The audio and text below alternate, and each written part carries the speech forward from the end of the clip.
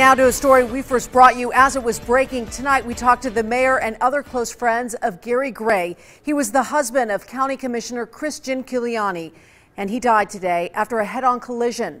Action News reporter Jennifer Kastner is live at UMC where he was airlifted. Jen. Yeah, Gray was flown here after the crash, and this is where he was pronounced dead. NHP says his truck crossed over into oncoming traffic. Gary Gray loved to explore and had most recently worked as a travel blogger. He leaves behind a wife, County Commissioner Chris Giunchigliani. In their 28 years of marriage, they visited every continent. Her, her life is just automatically in a blink of an eye has changed so dramatically. They were so close. Las Vegas Mayor Carolyn Goodman knew Gary and Chris well. Gary used to work in the world of political consulting. Oh my gosh, what a strong character. What a wonderful, bright man who just was forever inventing and thinking and beyond the day, always beyond, always ahead of his time. Troopers say it was earlier Thursday when the 69 year old's truck crossed the center line on Kyle Canyon Road.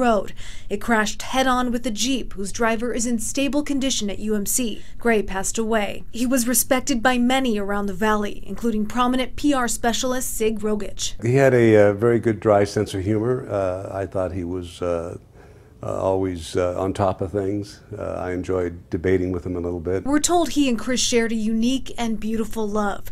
They enjoyed reading, gardening, skiing, and of course, traveling. I know that they had a high regard for each other, not only as a couple, but uh, because they respected each other's intelligence.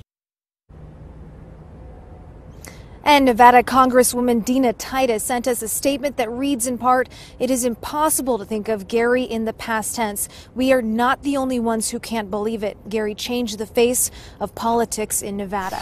Reporting live from UMC, Jennifer Kastner, Channel 13, Action News. Thank you, Jennifer.